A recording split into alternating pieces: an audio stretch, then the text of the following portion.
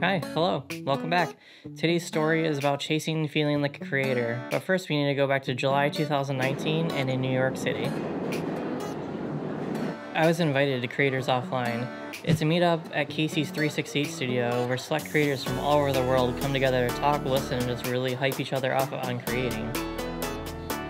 That experience is my first time really feeling like a creator, like I belonged and having that sense of community.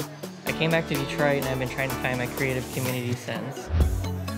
One day in July, I was added to a small Facebook group chat for local creators. In August, they were having a meetup in Detroit and I knew I had to give it a shot. So me and Tyler headed down to Detroit. We met up with the group and I started to get the same vibe I did in New York City. Everyone was stoked to be around other creators and just wanted to help each other make art. We wandered around taking photos of everything in sight.